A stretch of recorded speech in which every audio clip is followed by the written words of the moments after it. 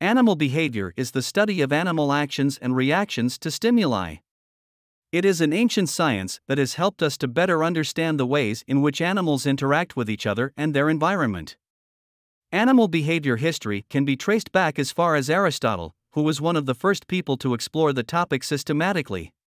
Over the years, researchers have developed a wealth of knowledge about animal behavior, and this knowledge has been used to help us better understand a wide range of issues, from animal exploitation to conservation. Animal behavior can be divided into two categories instinctive behavior and learned behavior. Instinctive behavior in animals or instinct animal behavior is an instinctive response to stimuli. These responses are automatic and can be categorized into three main groups reflexes, habits, and behaviors. Reflexes are immediate reactions to a stimulus that don't require thought or planning. They are automatic, involuntary responses to stimuli. Reflexes are often driven by instinctive behavior, which is the result of natural programming in the brain. Habits are repeated actions that are done automatically without much thought or deliberation. Habitual behaviors provide an important foundation for our basic needs and instincts, such as eating and drinking, toileting, and socializing. Behaviors are the most complex type of animal behavior and involve coordinated movements between multiple parts of the body. They're also the most variable, as different animals will exhibit different behaviors in response to the same stimuli.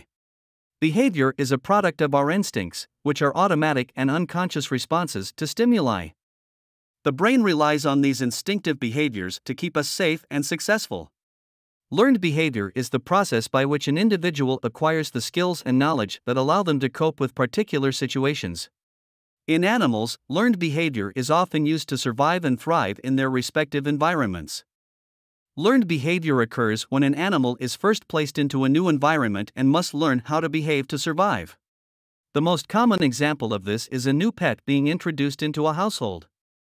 Specific environment learned behavior refers to the ability of animals to learn how to behave in various settings, such as captivity, the wild, or different habitats. For example, chimpanzees are known for their ability to learn how to use tools in captivity, while gorillas are well known for their abilities in the wild. But how are animal behaviors studied? The study of animal behaviors involves observational research, experiments, and surveys. Observational research is a popular method for studying animal behavior, as it allows researchers to get a close look at natural habitats and behavior patterns. For example, researchers can watch animals interact in their natural habitat to learn about territoriality, mating rituals, and other behavior patterns. Experiments involve manipulating variables, such as environment or food, to see how they affect the behavior of animals. This type of research can help scientists learn more about the causes and consequences of animal behavior. In a survey, scientists ask people questions about their observations of animals in their everyday lives. This information can be used to compile a comprehensive database of animal behavior patterns. Animal behavior surveys are a common way to get information about animals, their daily lives, and their behavior. In summary, animal behaviors are interesting and complex.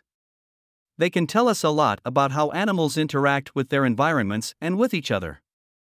By studying animal behavior, we can learn more about their cognitive abilities, social structures, and communication methods. This information can help us to better understand these animals and to protect them from extinction.